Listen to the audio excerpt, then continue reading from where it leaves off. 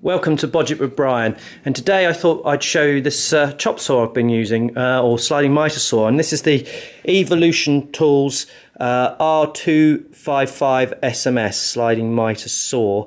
Uh, and it's equipped with uh, quite a, a, nice blade here. Um, it's capable of cutting uh, wood, metal and all sorts of other things as well. And I've been using it on site here for a good couple of weekends. Um, creating some stud work and cutting some um, difficult angles, if you like. They're not that difficult, but the, here's the main thing. This is why this has really helped me out. Is this uh, miter saw goes up to 50 degrees, and that's the pitch of the, the roof that we're making here is 50 degrees. So uh, unlike a lot of other saws uh, that don't go up uh, to 50, this one does. This is almost like uh, going up to 11, uh, if, uh, if you like Spinal Tap. So um, the additional thing that I'm also uh, showing you here is it on this stand. Uh, now we've shown the stand separately before. Oh, I've understood and done the wrong one. Uh, we've, we've shown the, the stand before um, on another video um, and uh, Brian's been using it a different way. But this time we've put the, the, uh, the absolute um, uh, mounts on for, for the chop saw and it breaks down very, very easily. I might show you that in a minute. Um, but um, I'm extremely happy with it and how it's worked.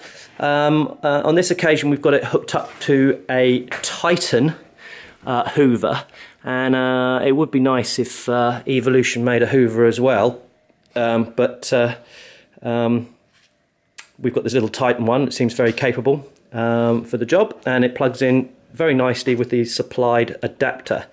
So um, what I thought I'd do is I'd just show you cutting a 50 degree angle uh, in a, little piece of uh, timber that we've been, it's a little off cut there, and um, yeah, show you the, show you the, the saw in action, uh, which has been extremely good. So on with the safety equipment, I've got uh, uh, gloves, uh, goggles, safety goggles or safety glasses, and some ear defenders on. Um, and what I'm going to do is I'm going to take the locking pin out there so it reveals the uh, the blade or unlocks the blade and I'm also going to undo the sliding mechanism which is just here um, and that allows it to slide back and forth nice and easily.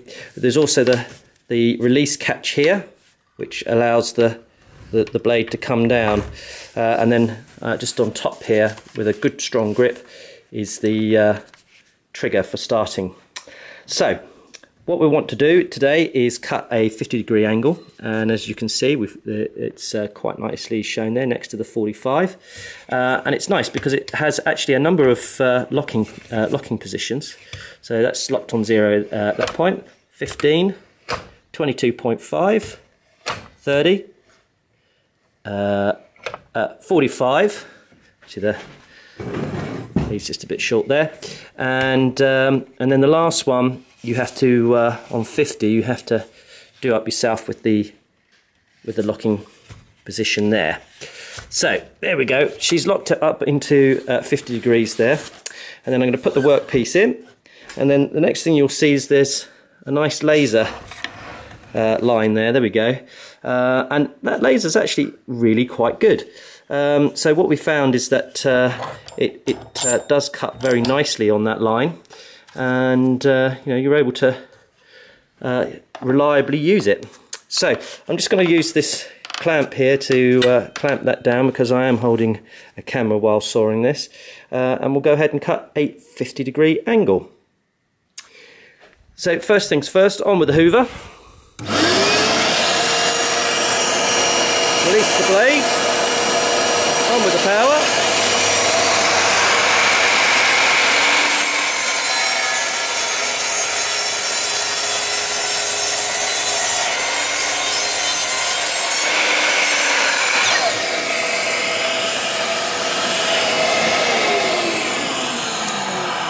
And what a neat job. Uh, not only has that uh, cut our 50 degree angle uh, as we wanted to very nicely, but that uh, hoover mechanism really did capture up all of that sawdust and uh, you know keep the job site nice and nice and clean and tidy. And uh, as we all know, a clean and tidy work site is a safe work site. So that was just my quick re-overview of the uh, Evolutions to, uh, Evolution Tools uh, R255 SMS sliding miter saw uh, on its Evolution stand with a Titan Hoover. Thanks for watching Bodge it with Brian. And don't forget, if you liked any of this, subscribe down uh, just here. Uh, any comments, we'd be interested to hear them. And of course, you can find us on Twitter and Instagram.